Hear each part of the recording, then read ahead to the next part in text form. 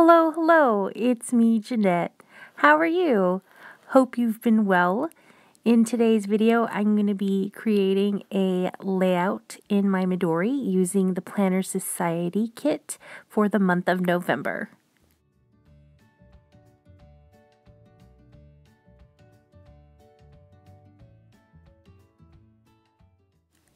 This particular insert here is specifically devoted to my design teamwork for the Planner Society kit. And in case you don't know what the Planner Society kit is, it's a monthly subscription kit run, owned, and operated by the magnificently talented Christy Tomlinson. So each month you receive a box of goodies for your planners and Midoris and other paper crafts. And this particular insert, like I said earlier, is devoted to my design teamwork. So I just like to use the kit to experiment and just have fun.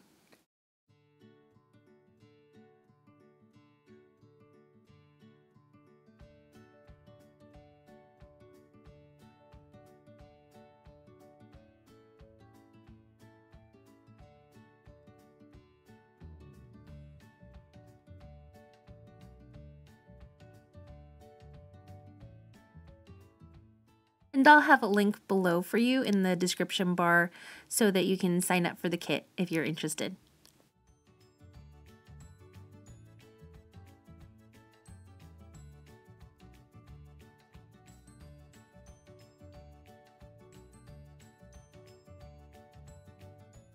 I can't even begin to tell you how therapeutic it is for me to work on these layouts. It's just a great stress reliever.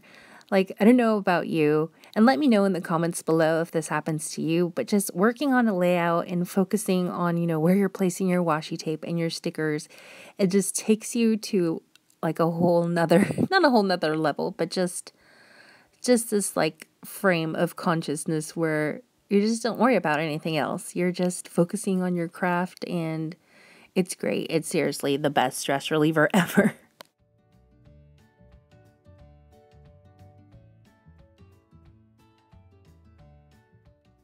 And in case you're wondering, I finally went to Hobby Lobby to replace my glue glider that ran out.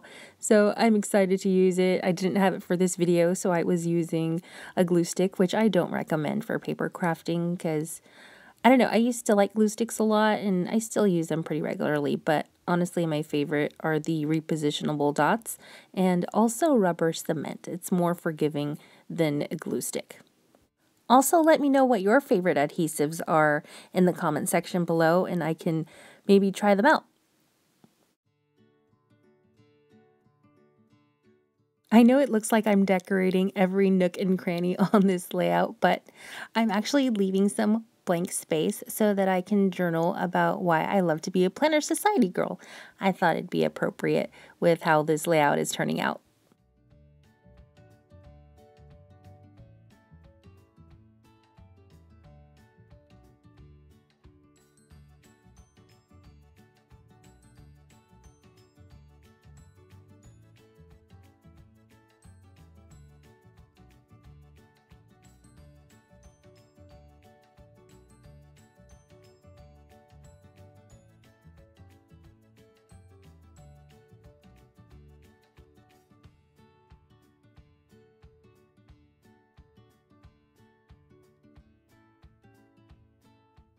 And as you can see, I filled out my journal entry in pencil, but now I'm going back with pen. And I always do that, and I know it creates more work for me, but I feel better about my handwriting if I've, you know, if I'm just tracing over my pencil marks. Like, I don't know, is that just me? Is that just something that I do? It just makes me feel better for some reason.